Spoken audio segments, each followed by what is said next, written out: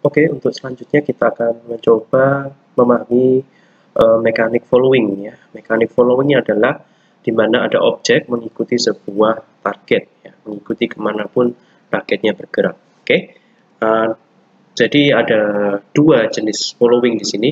Yang pertama adalah single follower dan yang kedua adalah multi follower. Uh, single mole follower memungkinkan sebuah objek mengikuti ke mana pun objek uh, bergerak, objek lain bergerak Uh, di tutorial kali ini saya akan mencontohkan uh, sebuah pesawat terbang mengikuti arah mouse kita. Jadi targetnya adalah kursor mouse kita ke mana pun dia bergerak. Oke, okay? pesawat akan berhenti atau menjaga jarak dengan uh, atribut atau variabel minimum distance yang kita siapkan. Oke, okay? nah, langsung aja kita akan mencoba ini. Pertama-tama kita mesti menyiapkan sebuah variabel minimum distance.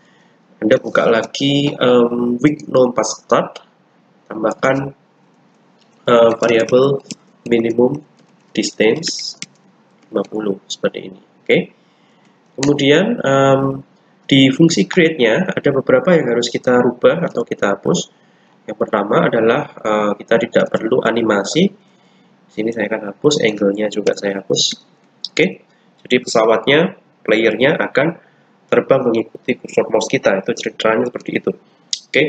kemudian um, uh, ya uh, enable physics-nya ini saya akan hapus dulu ya. Kita tidak menggunakan drag tidak pakai gravity tidak ada ground saya hapus semua groundnya. Tidak perlu kursor ya tidak ada kursor mouse di sini. Saya hapus juga saya hapus uh, player anchor-nya dan isi update-nya kita hapus juga ya kita hapus semua isi update-nya dan kosong oke okay? jadi um, ini adalah uh, uh, yang kita siapkan sekarang oke okay? nah mari kita coba reload oke okay? week 4 start HTML dan anda akan melihat kondisi awal week 4 start HTML seperti uh, di pertemuan sebelumnya nah bagaimana cara mekanik uh, following ini bekerja, pertama-tama adalah uh, kita ngecek jarak antara pemain, antara pesawat dengan posisi target, yakni kursor mouse kita, uh, apakah uh, sudah uh, lebih, apakah masih lebih besar dari minimum distance. Jika iya, maka kita gerakan pesawat mengejar uh, posisi kursor mouse. Tapi jika tidak, kita berhentikan pesawat tersebut. Oke, okay? untuk menghitung jarak, ya, begitu jarak antara player ya. Jarak antara pesawat ya pesawat dengan kursor kursor mouse. Sini kita membutuhkan uh, ini ya membutuhkan fungsi uh, nya phaser ya fungsinya phaser game.map.distance game.map.distance kalau anda lihat ada parameter uh, parameter koordinat X dan Y. Objek 1 serta koordinat X dan Y objek 2.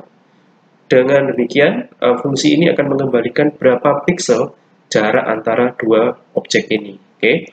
Dengan kata lain, kita bisa masukkan player.x, player.y. Untuk kursor mouse, kita dapatkan dengan cara game.input.mouse pointer ya, mouse pointer x ini saya copy paste ya untuk yang ig-nya oke seperti ini. Jadi posisi uh, jarak antara player X dengan mouse pointer saya ini akan ditampilkan atau disimpan ke dalam distance. Oke uh, saya akan coba menampilkan ya menampilkan di console log distance ini uh, angka yang dimunculkan apabila saya menggerakkan mouse ya. Saya akan menyalakan inspect element, lalu saya hidupkan konsol, ya.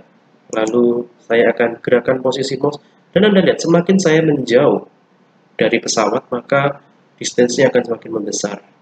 Oke, tapi ketika saya mendekati pesawat, Anda bisa lihat distance-nya mengecil. Oke, seperti itu.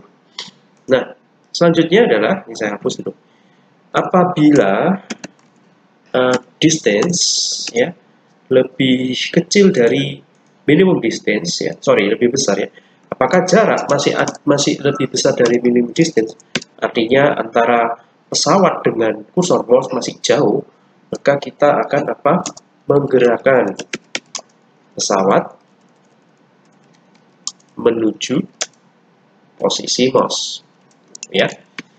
Tapi jika tidak, maka kita akan menstop gerakan pesawat ya body.velocity.set to 0,0. Kita stop posisi maksud saya kecepatan pesawatnya. Kita stop. Nah, um, pertama-tama adalah ketika ada ketika kita mau menggerakkan pesawat, maka kita harus tahu uh, arah yang dituju ya. Kita harus tahu arah yang dituju. Jadi misalkan uh, dia ada di kiri bawah, kursor kita ada di kanan atas, maka pesawat akan bergerak menuju kanan atas. Pertama-tama yang harus Anda ketahui adalah karena kita masih menggunakan ini ya, menggunakan uh, rotasi method cross rotation untuk mengkalkulasi velocity x dan velocity y-nya, maka kita harus tahu angle-nya ya. Angle atau derajat uh, arah yang dituju. Untungnya Phaser punya ini ya, punya fungsi yang sangat berguna yang yang kita sebut di sini adalah nama fungsinya adalah angle between ya game dot method angle between ini gunanya adalah untuk me, me, me, mereturn ya menghitung berapa derajat uh, uh, uh, dari pesawat dengan kursor Morse ya. Jika dia menuju ke sana berapa derajat angle-nya. Jadi kita tidak perlu menghitung manual. Jadi di sini saya akan buat rotation oke? Okay? dan saya akan memanggil game dot uh, dot angle between oke okay. angle between. Di sini anda bisa lihat sekali lagi ini fungsi yang mirip dengan yang di atas. Kalau yang di atas ngitung jarak yang ini ngitung derajatnya. Berapa derajatnya antara posisi X dengan posisi Y? Posisi player dengan posisi kursor mouse. Oke okay, jadi teman-teman ini saya copy. Karena karena apa? Karena isinya sama persis ya isi parameternya sama persis empat properti xy objek awal xy objek akhir. Oke? Okay? nah kemudian kita akan memasukkan rumus yang sama untuk menggunakan pesawat ini ya. player.body.velocity.x sama dengan math acceleration ya. Acceleration. Saya punya acceleration di atas. Oke okay, ya. Kali map dot cosinus rotation oke okay, ini saya copy paste copy paste uh, untuk yang y tentu saja anda ganti menjadi sin oke okay. mari kita coba sekarang oke okay. lihat uh, pesawat akan follow kursor saya ke mana pun kursor saya bergerak ya seperti ini jadi setiap kali saya gerakan angle between-nya dijalankan maka ter, uh, muncullah uh, derajat yang harus ditumpuk kita masukkan derajat itu rotasi itu ke dalam rumus velocity x dan y ini sehingga kecepatan pesawatnya akan uh, berubah di, uh, sesuai dengan rotasinya oke okay? cuman ada yang aneh di sini teman-teman uh, apa yang aneh pesawatnya tidak berputar ya, tidak berotasi ya. Harusnya moncongnya ini ya. Moncongnya harusnya menghadap ke kursor yang dituju, ke posisi yang dituju. Nah, bagaimana menyelesaikan ini?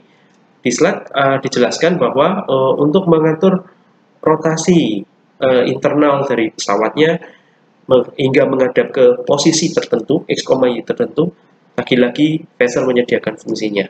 Oke, kita tinggal pakai. Kita akan menggunakan ini, uh, kita siapin dulu ya, prayer dan rotation sama dengan fungsinya dimiliki oleh arcade, physics arcade. Jadi game.physics.arcade, oke, okay. fungsinya adalah angle to xy. Jadi jangan salah ketik ya, angle to xy. Parameternya adalah objek player pesawat terhadap koordinat x dan y yang dituju. Oke, di sini player, mouse game dot input dot mouse pointer dot x, dot input mouse pointer dot y. Oke, jadi uh, player rotations akan uh, berisi nilai berapa derajat antara posisi player dengan titik yang dituju. Oke, nah sekarang kita akan simpan lalu kita akan reload. Ya, Anda bisa lihat sekarang pesawat saya sudah bergerak dengan pas, following mekanik, dia ngejar posisi kursor saya, dan uh, arah putar moncongnya sesuai dengan uh, koordinat X dan Y dari mouse saya.